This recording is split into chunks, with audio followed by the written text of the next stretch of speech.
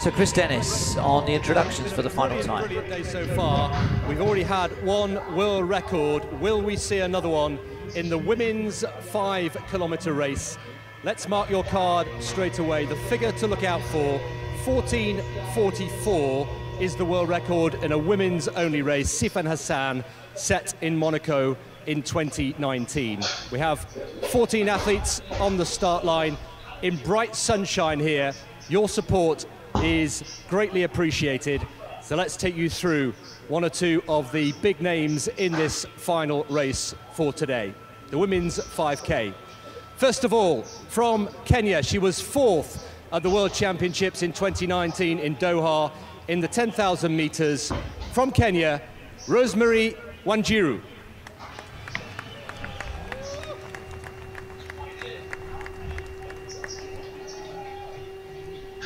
Next up, world indoor silver medalist, a finalist at World Championships and the Olympic Games. This is her first race of the season.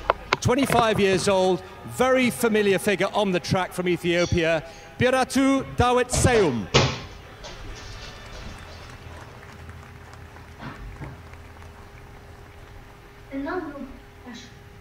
And finally, on the start line, former world silver medalist, a two-time Olympic finalist, including sixth place in Tokyo last month, 26 years old, also from Ethiopia, Senbere Teferi.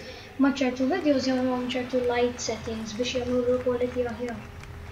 They're just the light il So the athletes ready to go in our final race today. Remember, we've already had one world record today. We need your support. Can we see a second? The world record mark to beat, 14.44. And here to call the race for you for one last time, Uta Pippig and first of all, Geoff Wightman.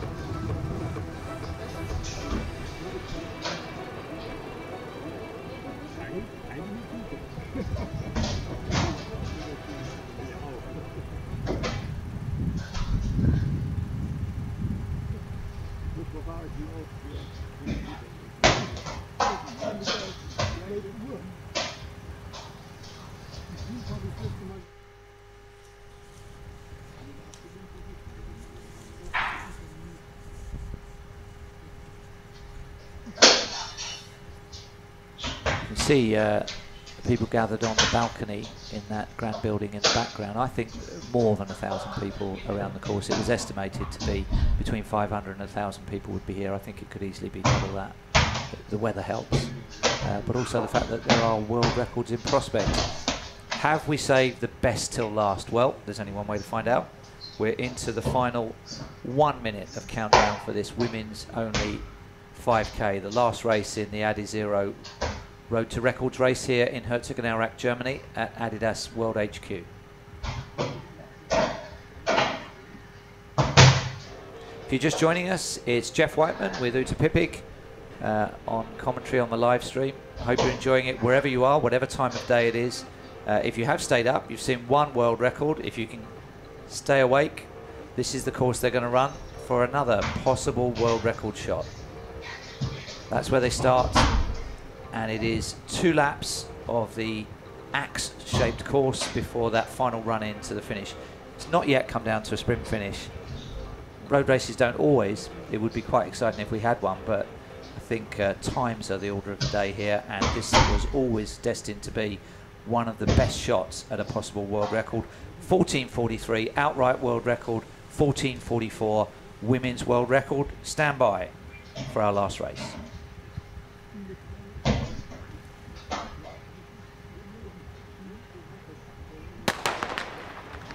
We're away, they start their own watches, even though there's a timing clock in front of them, even though they've got chip timing attached to them. taking no chances. And as Uta has mentioned before, that may help them uh, determine their kilometre splits and how the pace is going. Especially in the second part of the race, often when you are in your own zone, in your own race, maybe in the top three and focus to do maybe a PR, so you want to have double check your own watch. Off they go, fast. Again, looking like a track race here. Yeah, it looks like they're sprinting from certain angles, doesn't it? Yeah. So the two pacers, Mariam Jepengaitic, uh, she's got number 613 on her back, and Feliciana Jepkosgei. And I think they'll be tasked with um, around about 256 per kilometre. They'll have to uh, judge that by feel a little bit. At this point in the men's race, they were already strung out in single file, so it suggests that uh, they're, they're running it in quite a controlled way. Yep.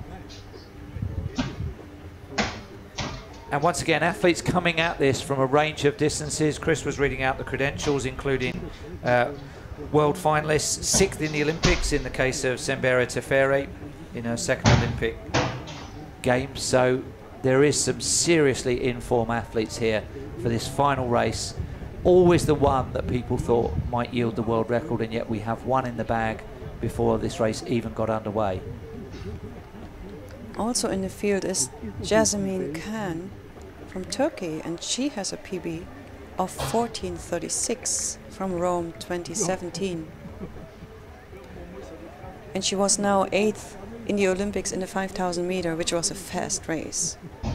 Yes, she ran in both finals in Tokyo. Mhm, I've followed her um, progress over the years for Turkey with interest. I think Chan, Jasmine Chan, they pronounce it in Mhm. Turkey with a accent Cedilla under the under the sea. But yes, she's a force to be reckoned with and could well feature in this. She has uh, on her bib it says Yasemin. 11th in, in the 10,000 in Tokyo. So we'll be looking to see if we if we get a first kilometre split. Hopefully, it will be somewhere between 250 and three minutes, just to keep alive that uh, world record possibility. They're well spread out. You can see six across. So using the full width of the road here on this slight uphill, they'll only take this once more, and then they will be on to the uh, run into the finish next time around. And the gaps are now starting to open up. We're getting a field of uh, a little group of the two pacemakers plus six others uh, that are just starting to nudge clear on this section of the course through three minutes. So hopefully we've passed the one kilometre point. We'll get a formal split at two kilometres, hopefully under six minutes.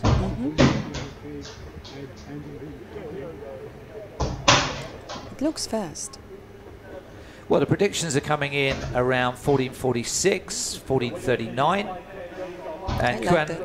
Well, Kuan Walker has been on the money on one of the previous predictions, so he's saying new world record. 257 for that opening kilometre. So we are on schedule for a world record, but the group is just starting to fragment a little bit at a relatively early stage.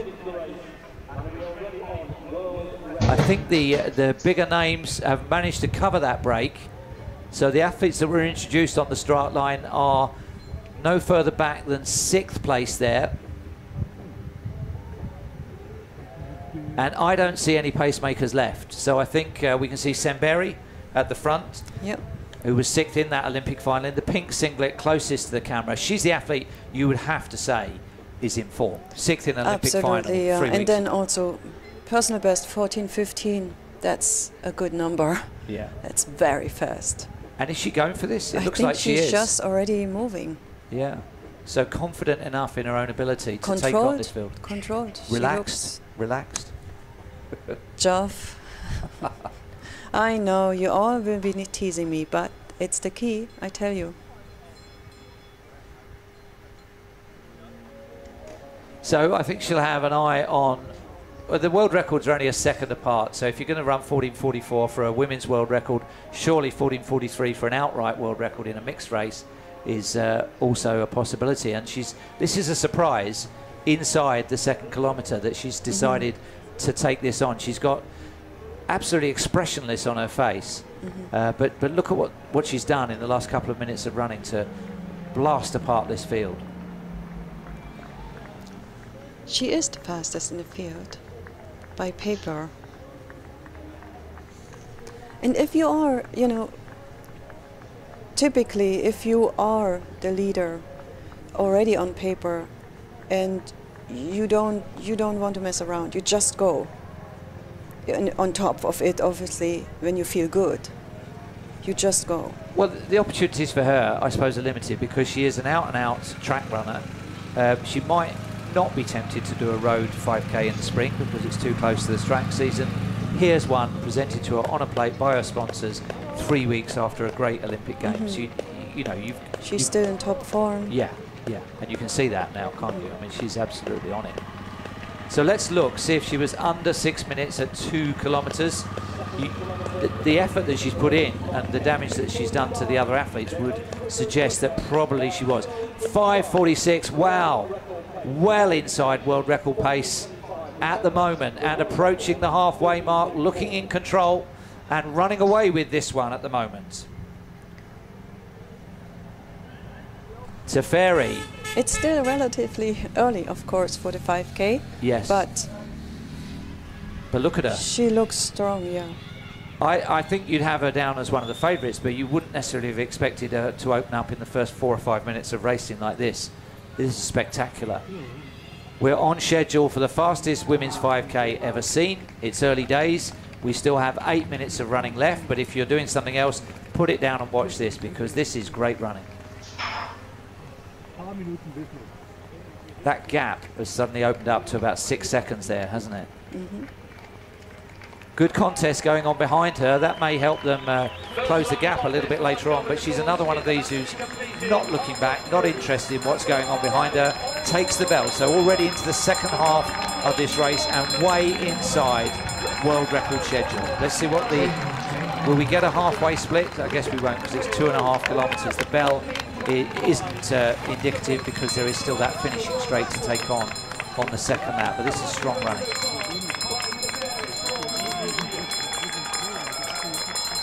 It's still at the time of the race where you should feel relatively, you know, strong. Yeah. You still can dig really deep here in this, in the middle part.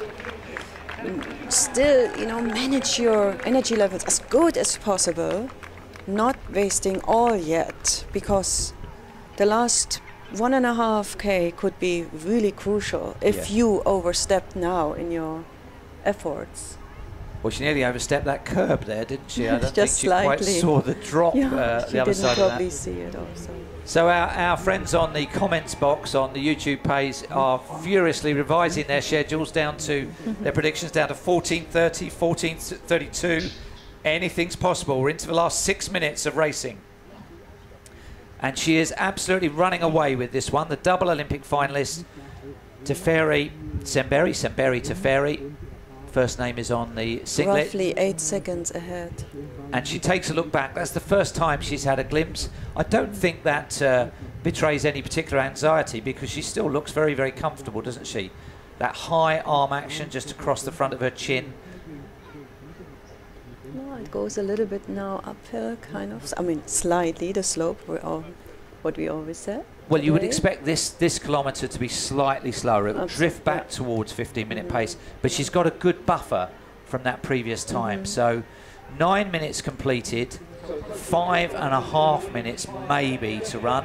They're gathering behind her, but that is, as you say, Uta, a significant gap that I she would say 10, 11 seconds by now. Yeah. I just counted as good as I could from the angle. So the women's 10k produced a world record, and the women's 5k at this uh, Adizero Road to Records is living up to its billing.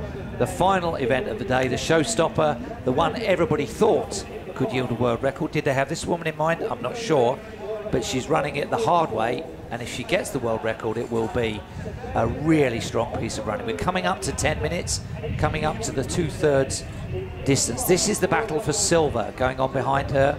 Those are all of the other big names in there. 607 is Ngisti of Ethiopia.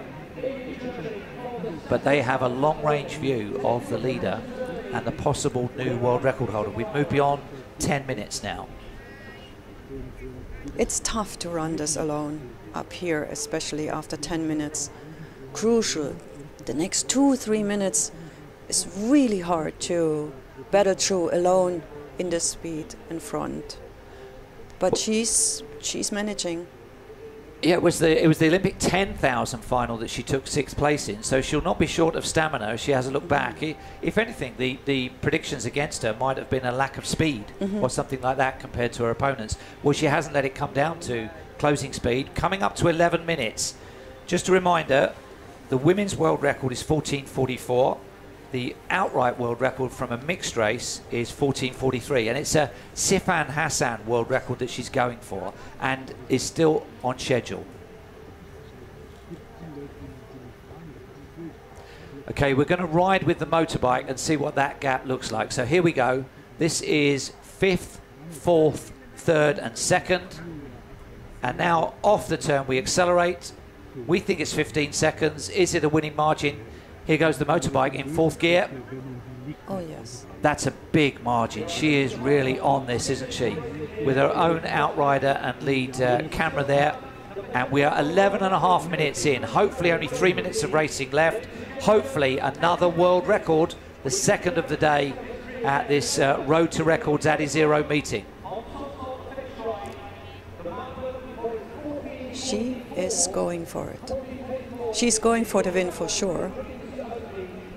If not anything miraculous happens the last three minutes. Well, she's going away 11:37. Let's have a look at that at uh, 4K. Well, it's still on schedule for something in the 1430s. She's got a nice downhill uh, benefit here. She will also know that the finish line is in sight. She's having a look back. 57. Fantastic. Yeah, I, could she even break 1430? We'll have to wait and see, see what sort of a flourish she can uh, muster at the finish. But those are world-class athletes, and the heat haze is between her and them. She is so far clear. She looks good. Looks brilliant. Absolutely. yeah. Two minutes Really of running left. Come on. 1443, Go, go, go. absolute world record. The Hassan women's only world record, 1444. And we know this loop. We know how much running there two is minutes left. To go. She's feeling this a little bit now. That's exciting. Coming up to 13 minutes, a minute and three quarters to break the world record. People are saying 1447, 1431. It could be quicker than that. Look in her face. It's starting to hurt. She's a 10,000 Olympic top six. from Tokyo. That's second, third, and fourth. A minute and a half to break the world record. A Sifan Hassan women's only world record. I think she's going to smash it. I think she's taking women's 5,000 meter racing into a new territory here. She looks fantastic. Come on. All about the effort now. Oh, is she talking to herself? Urging herself on. Oh, she's digging deep. She's hurting, yes, but I think soon it will feel good. So the turn is coming. She's she can do it. So less than a minute to break the world record. This is the sweep.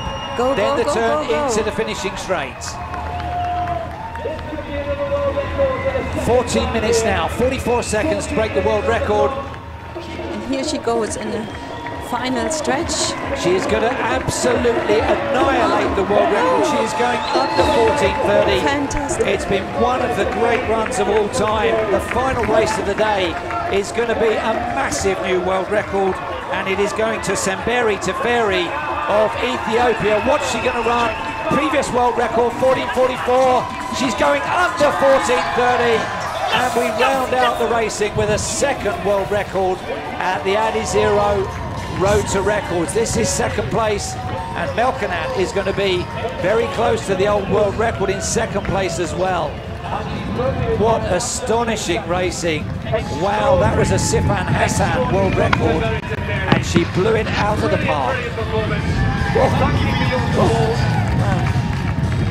Both still under 15 minutes.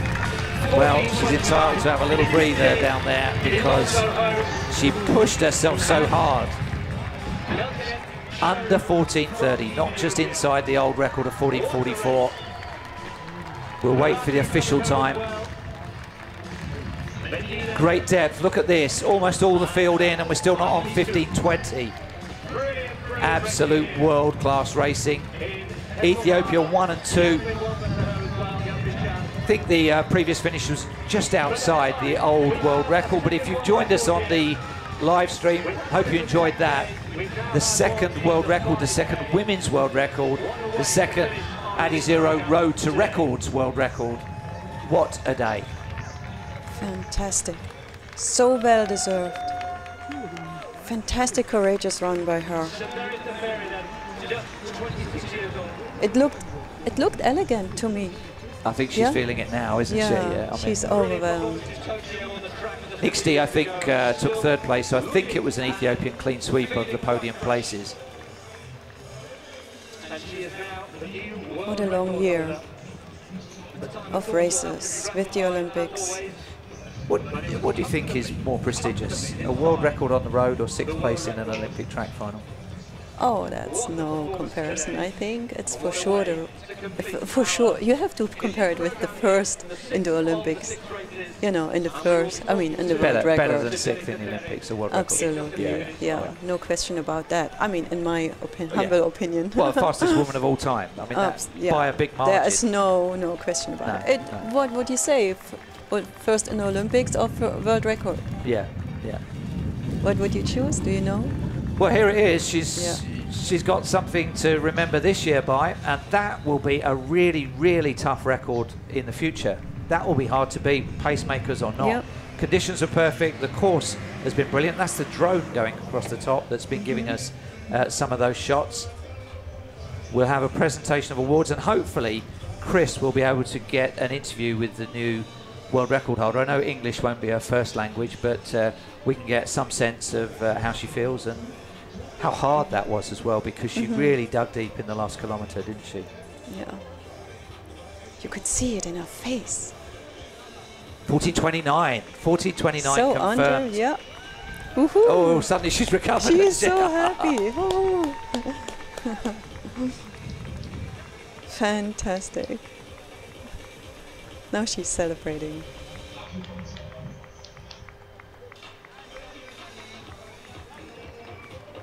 And somebody's put, I will stick with my 1508 prediction. Ah, well, I hope those of you that were able to enter the competition uh, for the prediction did predict 1428. I suspect not everybody will have done. If you did and you got into the competition, well, good luck in the draw for uh, those Adizero Pro 2 shoes.